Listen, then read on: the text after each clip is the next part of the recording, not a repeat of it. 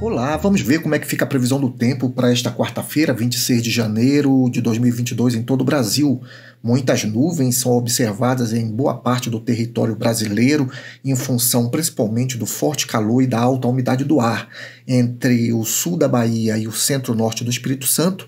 a nebulosidade carregada está associada à atuação de um vórtice ciclônico que atua ao longo da coluna atmosférica. É, no decorrer do dia de hoje, os principais volumes de chuvas podem ocorrer entre o Distrito Federal, Goiás, centro-norte do Mato Grosso, além do Tocantins, Pará, Amazonas e áreas também do estado do Amapá. Alguns volumes de chuvas também podem ocorrer de forma mais pontual entre o sul, litoral sul da Bahia e o centro-norte do Espírito Santo, e chamamos atenção para áreas principalmente do Rio Grande do Sul. A aproximação de uma frente fria que se desloca entre a província de Buenos Aires e Uruguai deve intensificar a instabilidade no Rio Grande do Sul, provocando bons volumes de chuva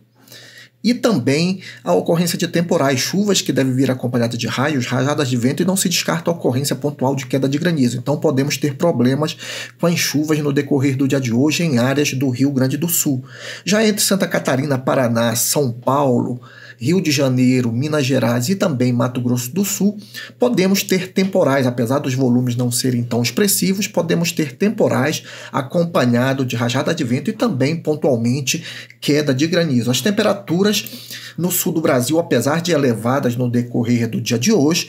ainda na casa de 37, 38 graus, mas a onda de calor começa a se desfazer em função do aumento da nebulosidade e da condição de chuva no decorrer do dia de hoje em áreas do sul do Brasil.